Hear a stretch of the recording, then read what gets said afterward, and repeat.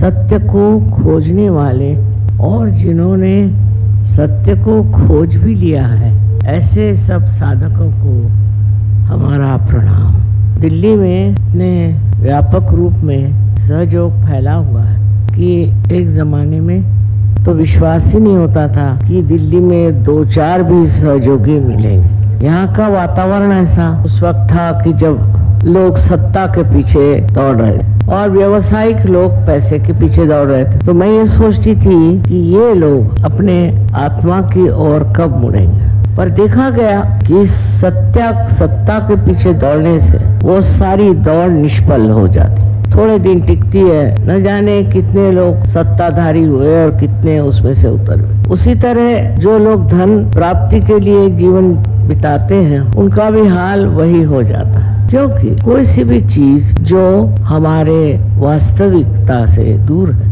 उसके तरफ़ जाने से अंत में यही सिद्ध होता है कि ये वास्तविकता नहीं, उसका सुख, उसका आनंद क्षण भर में भंगुर हो जाता है, खत्म हो जाता है। और इसी वजह से मैं देखती हूँ कि दिल्ली में इस कदर लोगों में जागृति आ गई ये जागृति आपकी अपनी संपत्ति ये आपके अपने शुद्ध हृदय से पाई हुई प्रेम की बरसात इसमें न जाने हमारा लेना देना कितना किंतु समझने की बात यह है कि अगर आपके अंदर ये सूझबूझ नहीं होती। तो इस तरह से ये कार्य संपन्न नहीं हो सकता। इसमें एक ही समझना है अनेक संतों ने इस देश में मेहनत की। हर के घर घर में उनके बारे में चर्चा होती। और उन संतों के बारे में बहुत कुछ मालूम बुज़ुर्गों के तो है ही, पर बच्चों को भी हो जाए। धीरे धीरे ये बात जमती है कि आखिर ये लोग ऐसे कौन थे जिन्होंने इतना परमार्थ साध्य किया? पता नहीं कैसे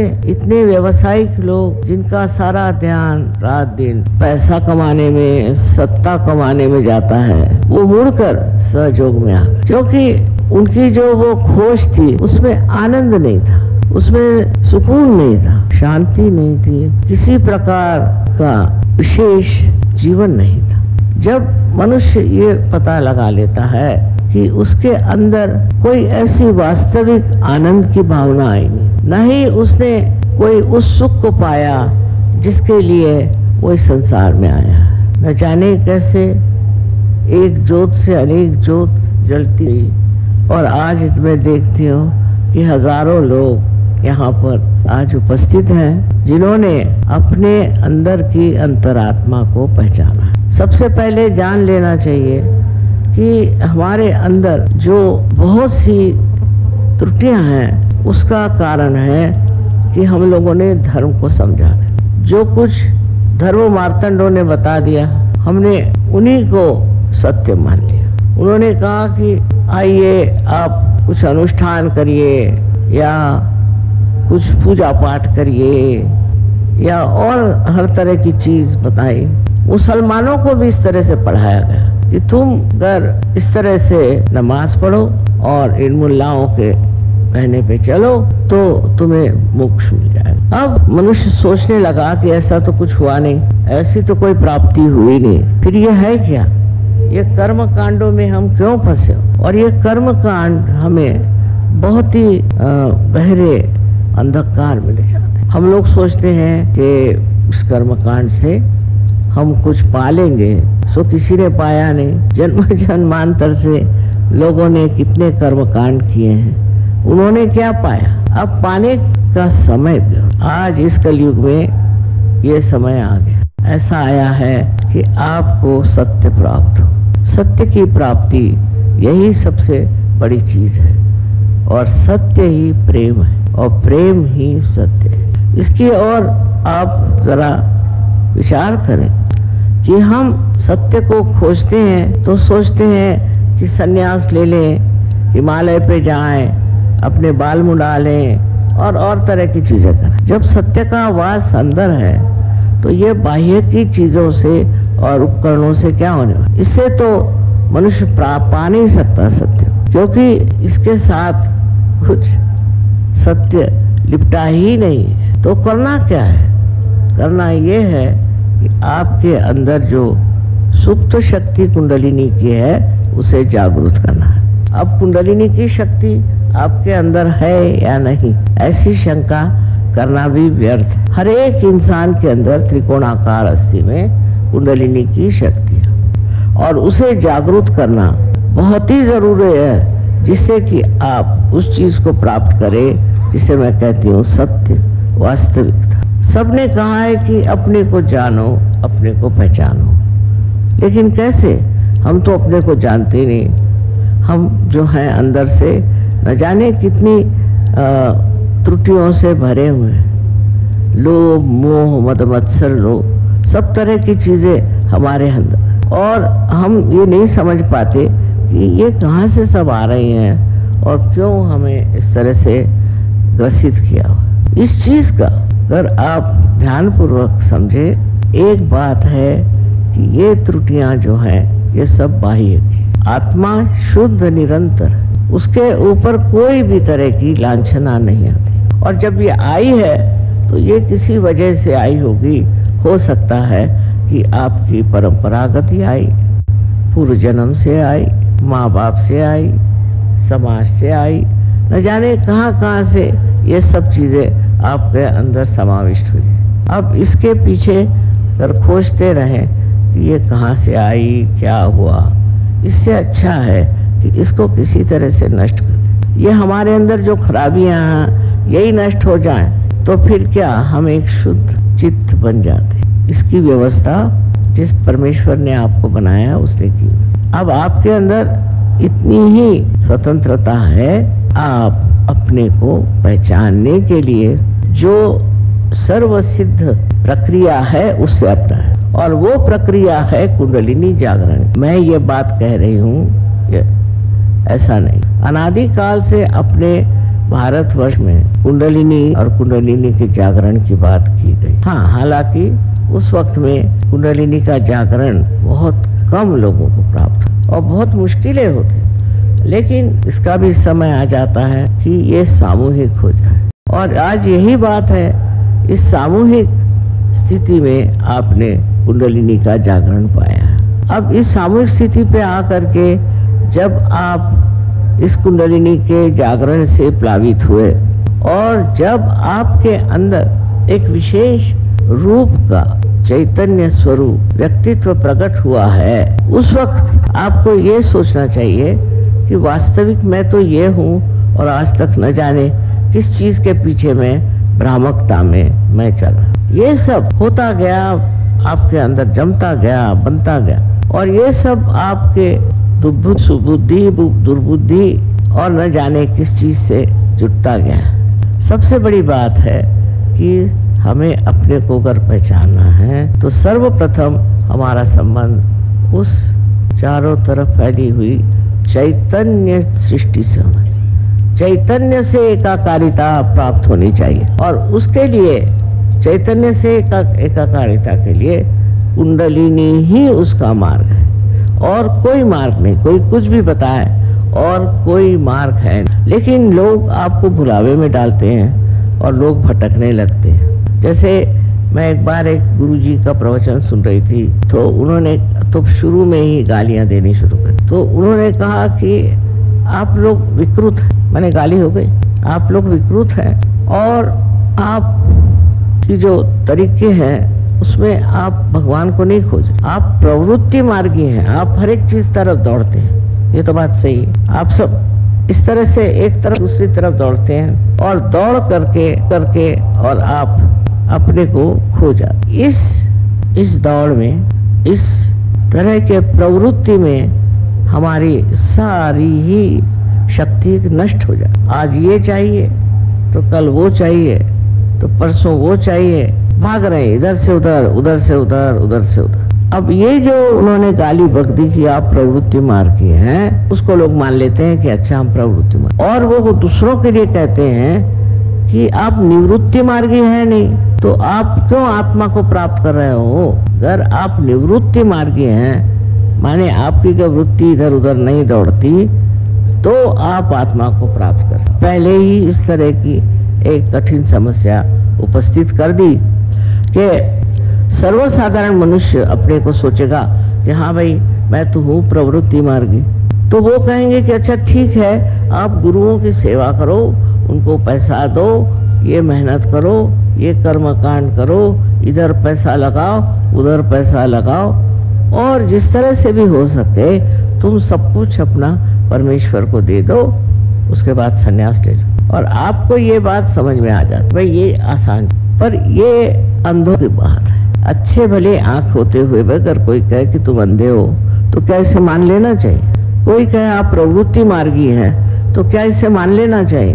अगर आपके अंदर निवृत्ति नहीं है, ऐसा उनका कहना तो आप ज्ञान मार्ग मतलब सहयोग में नहीं आ सकते। इस तरह की एक भाषा ये लोग व्यवहार में ला। और उससे सर्वसाधारण जनता ये कहती कि भाई, हमारे लिए तो ये ठीक है कि गुरुओं को से, उनको सब दो, उनको सब समर्पण दो। इस तरह की जो हमारे अंदर एक गलत धारणाएँ बैठ जाती और हम उसे मान भी लेते क्योंकि हमारे अंदर विश्वास ही नहीं है कि हम कभी अपने आत्मा को पा सकते और जिससे हम अब जान सकते लेकिन विश्वास, यहाँ आज बहुत से लोग ऐसे बैठे हैं जिन्होंने कुंडलिनी का जागरण और उसकी विशेषताओं से पूर्णतः अपने जीवन को प्रफुल्लित किया हुआ। और आप लोग सभी इस प्रकार इस चीज़ को पा सकते आप में कोई कमी नहीं, कोई कमी नहीं।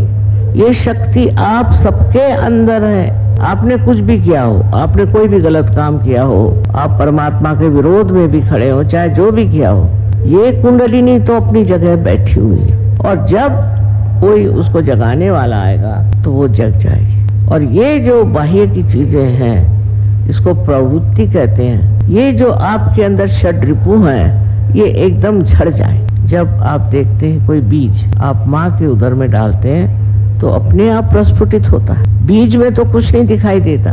पर जब वो माँ के पेट में जाता है तो वो अपने आप प्रस्फुटित हो जाता है। इतना ही नहीं, पर उसके अंग प्रत्यंग में जीवन आ जाता उसी प्रकार कुंडलिनी के जागरण से आप जागरूक हो जाते हैं। और आपके अंदर की जो वृत्तियाँ हैं, जो नाशकारी हैं, जो गलत है, वो अपने आप जड़ जाती हैं। ये बड़ा आश्चर्य का विषय है किंतु ऐसे बड़ी आश्चर्य की बात, क्योंकि ये घोर कलयुग है, ये घोर कलयुग है, और इसके प्रताप से न जाने कितने लोग झुलस गए। और अब इसी कलयुग में ये कार्य होने वाला है, और इसी कलयुग में आप इसे प्राप्त करने वाले हैं, और उस परम तत्व को आप प्राप्त करने वाले हैं, जो आपके अंदर आत्मा स्वरूप विराजित उसके प्रकाश में आप अपने को जाने। आप जानेंगे कि आपके अंदर से कौन से कौन से दोष गिर गए और अब आप शुद्ध चित्त वाले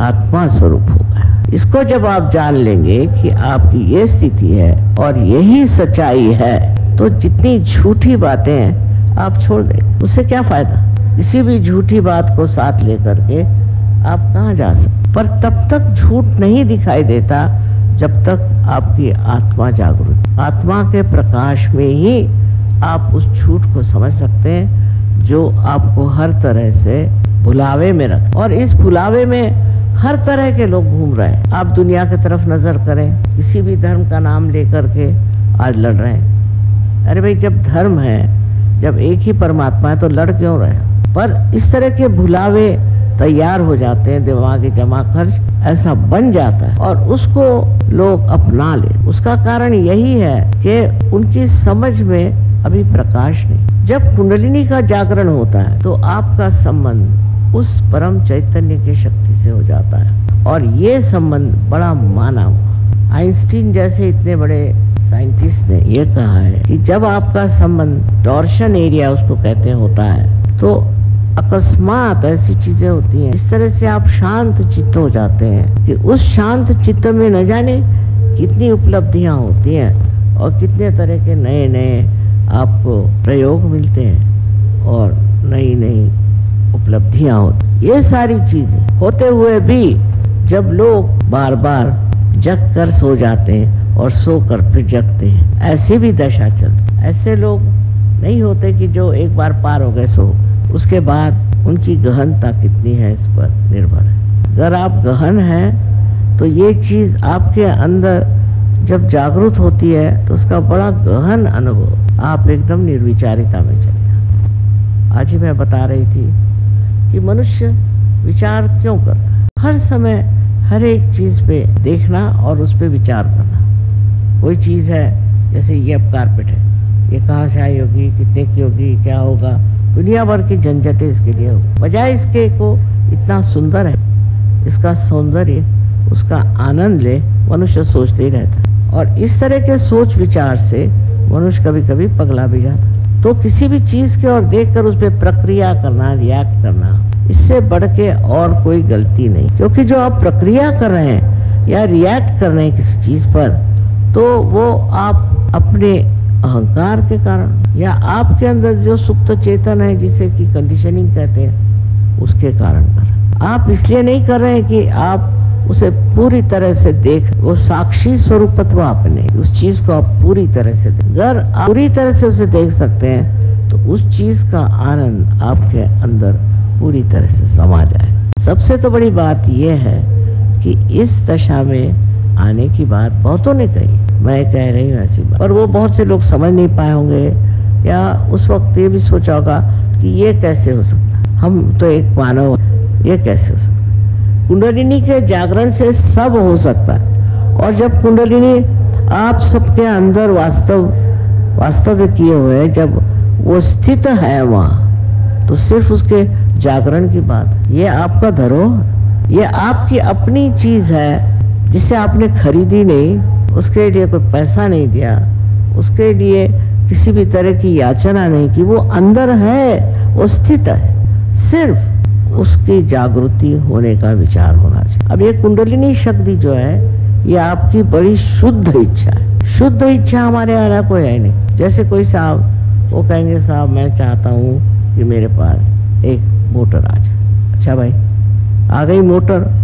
तो उसका आनंद ही नहीं उठाया, फिर लगे दूसरा कुछ ढूँढने। फिर वो चीज़ हो, फिर लगी तीसरी चीज़। तो इसका मतलब आपकी जो इच्छाएँ शुद्ध नहीं थी, अगर वो शुद्ध इच्छा होती तो आप तृप्त हो जाते। ये कुंडलिनी शक्ति आपकी शुद्ध इच्छा है और ये परमेश्वरी इच्छा ये जब आपके अंदर जागृत हो जाती है तो आप तृप्त हो जाते तृप्त हो जाते माने आप सोचते हैं कि ये जो मेरा मन ये चाहिए, वो चाहिए वो चाहिए करता था। उसके जगह अब मैं ऐसे सुंदर बाग में आ गया हूँ, जहाँ सुगंध ही सुगंध, आनंद ही आनंद, शांति ही शांति और प्रेम ही प्रेम बन। ये जब स्थिति आपकी आ जाती तो फिर आप मुड़ के नहीं देखते उधर, जो गलत चीज़ है। अधिकतर होते हैं ऐसे भी लोग तो भी कुछ फिर फिर गिरते हैं, फिर उठते हैं, फिर गिरते हैं।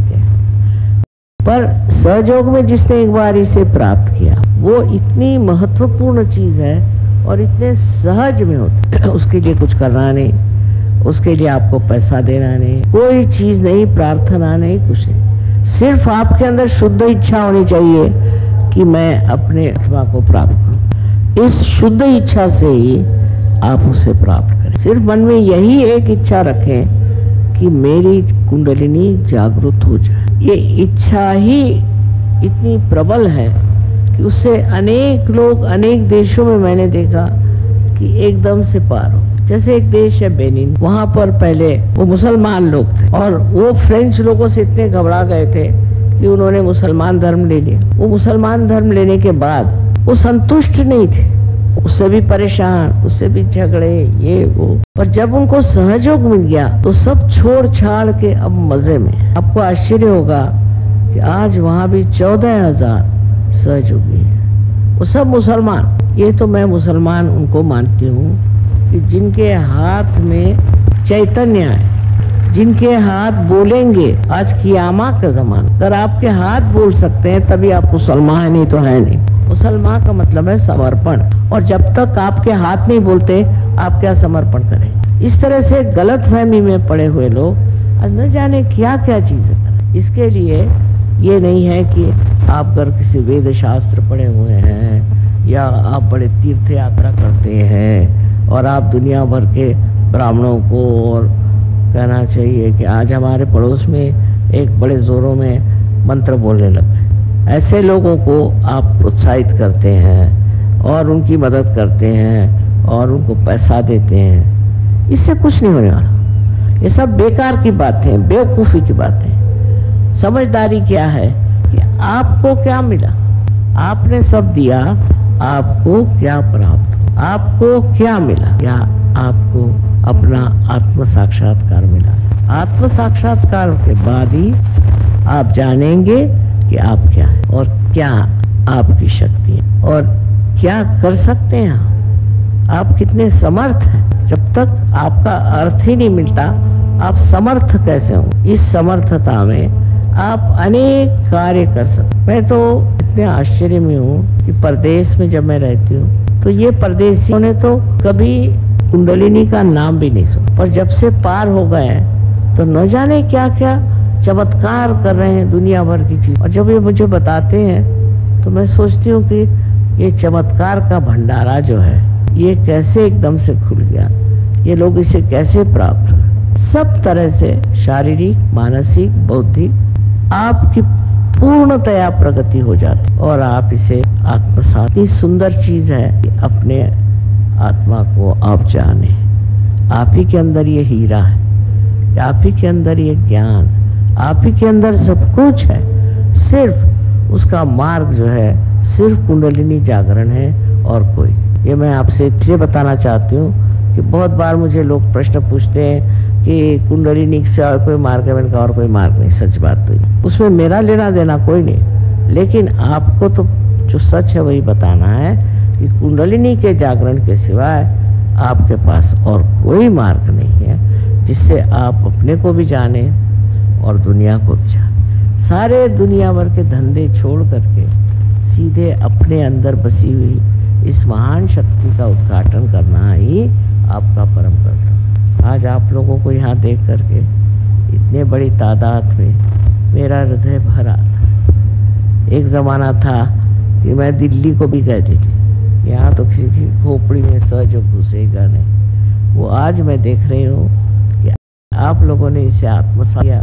और अपनाया। और सब तरह का लाभ ही लाभ है। हर तरह का लाभ इसमें है। और अगर महालक्ष्मी की कृपा हो जाए तो अपना देश भी एक बड़ा सुरम्य और बहुत वैभवशाली देश हो सकता इसलिए हमको, सबको सामाजिक रूप से इसे फैलाना चाहिए। और इस सामाजिक रूप में हर तरह का पहलू हमें पहचाना जहाँ जहाँ लोगों को तकलीफ़ है मैंने कम से कम ऐसे 16 प्रोजेक्ट बनाए, जिसमें औरतों को मदद करना, बच्चों को मदद करना, बीमारों को मदद करना, बूढ़ों को मदद करना खेती हर लोगों को मदद करना आदि अनेक से प्रोजेक्ट्स बनाए हैं कि जिसमें सहयोग कार्यशील और इस कार्य को करते हैं, वो समझते हैं कि ये हमारे अंदर इतनी शक्ति कैसे है।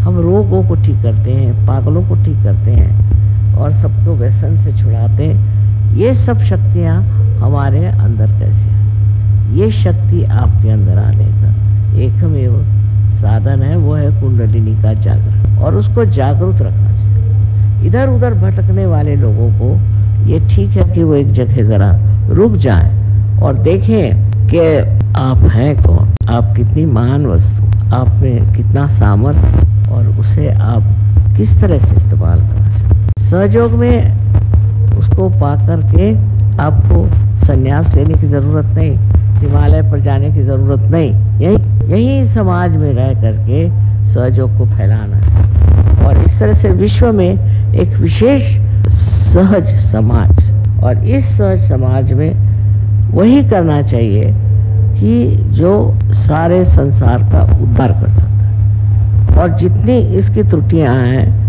उनको बिल्कुल पूरी तरह से नष्ट कर सकते ये कार्य आप लोग सब कर सकते हैं और उसलिए मैं आपसे बार बार यही कहूँगी कि अपनी जागृति करते रहें। मनन करें। मनन से जागृति बनी रहेगी। और जो दोष हैं, वो धीरे धीरे बिल्कुल निकल जाएँगे। इससे आप एक सुंदर स्वरूप, बहुत ही बढ़िया एक व्यक्ति हो जाए ऐसे अगर व्यक्ति समाज में हो जाए तो ये दुनिया भर की जो आफतें मची हुई हैं, दुनिया में मारा मारी और किस तरह के घोर अत्याचार हो रहे हैं, ये सब रुक जाए क्योंकि आप एक सुंदर मानव प्रकृति बन जाएँगे। और ये सब चीज़ों से आप दूर रह करके भी इन पर अपना प्रकाश डाल सकते हैं और सब ठीक कर सकते हैं। आज के इस वातावरण में मनुष्य घबरा जा सकता है कि हो क्या रहा है, कैसे हो रहा है। इन सब का एक ये सोचना चाहिए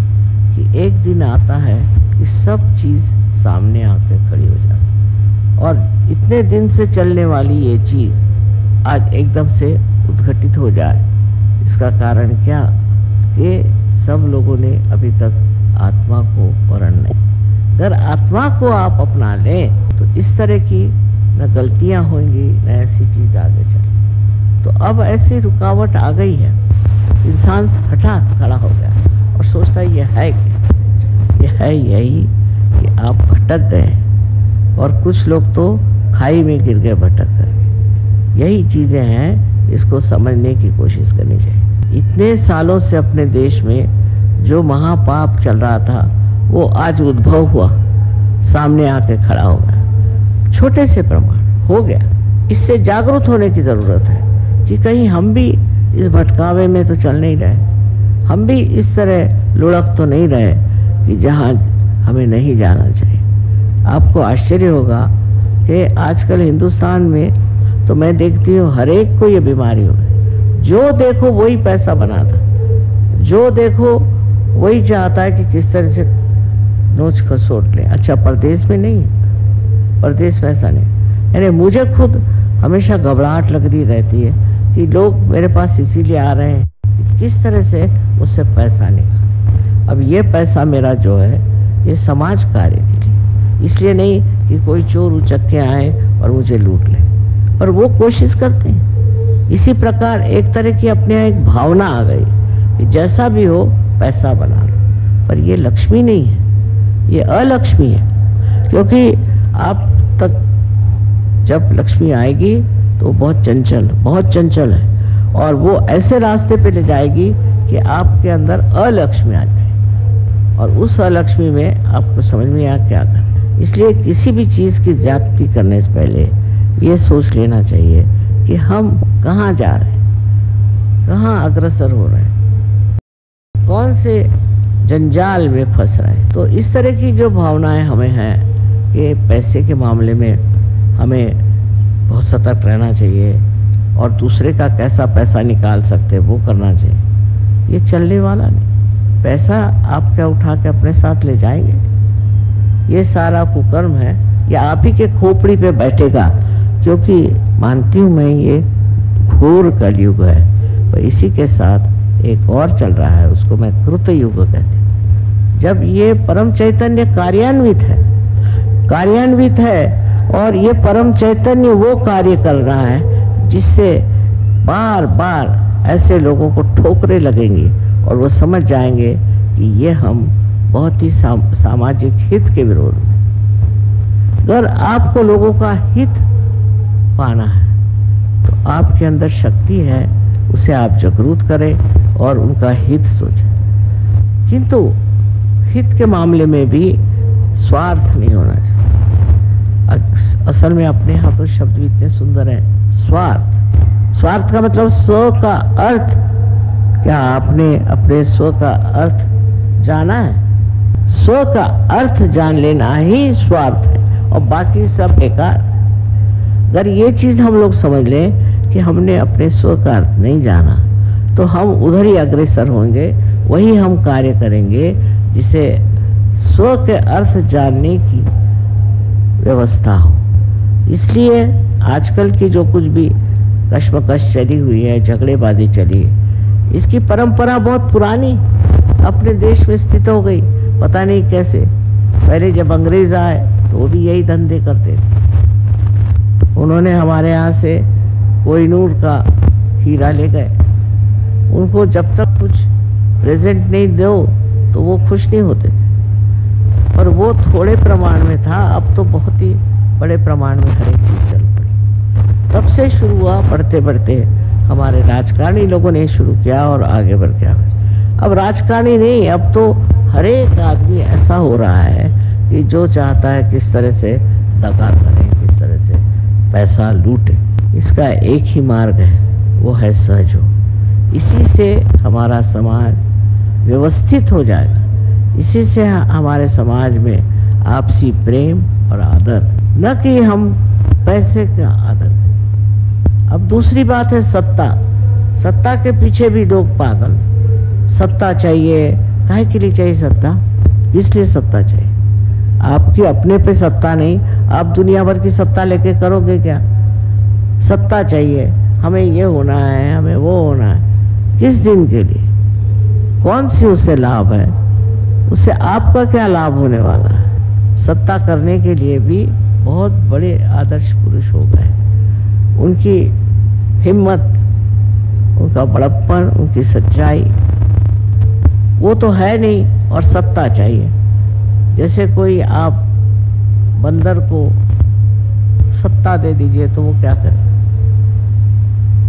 हमारे मराठी में कहते हैं कि बंदर के हाथ में जला हुआ, जली हुई लकड़ी दे दीजिए तो वो तो सब दूर जलाते फिरेगा।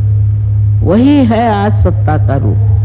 कि सब बंदर जैसे अपनी सत्ता को इस्तेमाल करते हैं, पैसा कमाने और पैसा कमाते हैं सत्ता के इस तरह के इन दोनों के द्वंद्व में चलते, चलने से आज अपना देश बहुत ही गिर गया। सामाजिक रूप से। सहयोग उसका इलाज है। सहयोग में आने से आप समझ जाएँगे कि ये महामूर्खता है। और इस मूर्खता को भी नहीं करते। और जिस दिन सहयोग बहुत फैल जाएगा, उस दिन ये सब चीज़ें अपने आप नष्ट हो जाएँगी। ये रह ही नहीं सकते। इसीलिए आपको समझना चाहिए कि आजकल जो हम घबराए हुए हैं, कि अपने समाज का क्या हो रहा है, उसको ठीक करने का भी, उसको सही रास्ते पर लाने का भी उत्तरदायित्व आपका है। आप कर सकते हैं। आप जो सहयोगी हैं, ये कर सकते हैं और जो नहीं भी हैं, उनको सहयोग करना हमें अगर अच्छी समाज व्यवस्था चाहिए अच्छ, अच्छी एक व्यवस्था ऐसी हो कि जिसमें कोई किसी को खसोटे ना मारे ना और सब लोग आपस में प्रेम भाव से रहें तो इस इलाज सिर्फ़ सहयोग कर सकते सहयोग दिखने में सीधा साधा है और सबके अंदर शक्ति होने से सब सोचते हैं कि अब तो पार हो जाए। पर इसमें रजना पड़ता है इसमें रमना पड़ता है।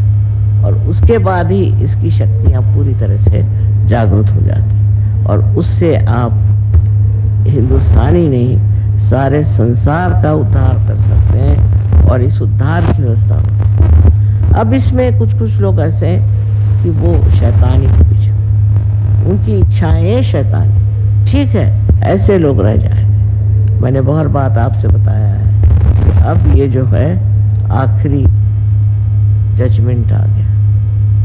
इस वक्त में आप अगर अच्छाई को पकड़े तो आप उठ जाएँगे, और अगर बुराई को पकड़े तो आप दब जाए हमें देखना चाहिए कि किस तरह से जगह जगह भूकंप आते हैं। तो क्या होता अभी गुजरात में बड़ा भारी भूकंप है। वहाँ हमारे सिर्फ़ अठारह सहयोगी थे क्योंकि गुजरातियों को पता नहीं क्या, सहयोग से खास मतलब नहीं अब टर्की में भी बड़ा भारी भूकंप, वहाँ भी जितने सहयोगी थे, सब बच गए। सब एक से। उनके घर भी बिल्कुल सही सलामत। मैंने देखे खुद। क्योंकि आप परमात्मा के साम्राज्य में आ गए तो आपका संरक्षण है। आपको कोई मार नहीं सकता, कोई आपको नष्ट नहीं कर सकता। ऐसे ही और भी जगह जहाँ भूकंप हुए। वहाँ भी हमने यही देखा कि सहयोगी एक भी नष्ट नहीं न उसका घर नष्ट हुआ। लातूर की ये बात है कि लातूर में हमारा जहाँ सेंटर था, उसके चारों तरफ़ चारों तरफ़ खंदक बन गया, चारों तरफ़। और बीच में सेंटर बिल्कुल ठीक। और एक भी लातूर का सहयोगी मरा नहीं। कैसा हुआ कि चतुर्दशी के दिन गणपति को विसर्जित करते हैं। सबने विसर्जन किया और विसर्जन करके आए और उनमें से जो लोग दुष्ट प्रवृत्ति थे, उन्होंने शराब लेके पी। शराब पी करके नाच रहे थे। और नाचते नाचते सब ज़मीन के अंदर। पर एक भी लातुर में, एक भी सहयोगी लातुर में, किसी भी तरह से कोई भी बात वंचित नहीं। उसका घर जैसे कि जैसे रहा, उसकी गृहस्थी, उसके बच्चे सब ठीक। ये क्या चमत्कार नहीं तो और क्या? इसी प्रकार आप भी समझ लें कि परमात्मा का जो संरक्षण है, वो आपके ऊपर होगा। क्योंकि आप उसके साम्राज्य में गए। इन सारे साम्राज्यों से बाहर इतने ऊँचे आप चले गए कि आप अब किसी भी चीज़ का भय नहीं। कोई भी चीज़ आपको नष्ट नहीं कर सकती। इस तरह से हमने सहयोग में अनेक उदाहरण देखे अनेक लोगों को बीमारी से उठते देखा ड्रग लेने वाले लोग एक रात में ही बदल जाते, एक रात में बदल। किसी को आश्चर्य होगा ये कैसे हुआ? वही बात मैंने कही कि कुंडलिनी के जागरण से अपने अंदर की सब विकृतियाँ जड़ जाती हैं। और इस तरह से हर जगह ये कार्य हो रहा और लोग अब महसूस कर रहे हैं, इसको समझ रहे हैं कि परिवर्तन की बहुत ज़रूरत इस परिवर्तन के सिवा कुछ भी नहीं बदल सकता, कुछ भी ठीक नहीं हो सकता। ये मनुष्य ही है जो सब गड़बड़ करता है, और ये मनुष्य ही है वो खुद इसको उठाएगा। और बढ़ाएगा। बड़ा विश्वास है मुझे कि जिस तरह से यहाँ सहयोग बढ़ा है और भी आगे बढ़ता रहे। और अनेक प्रांगण में, अनेक स्थिति में इसका प्रकाश चारों तरफ़ आ फैला है। आप सबको अनंत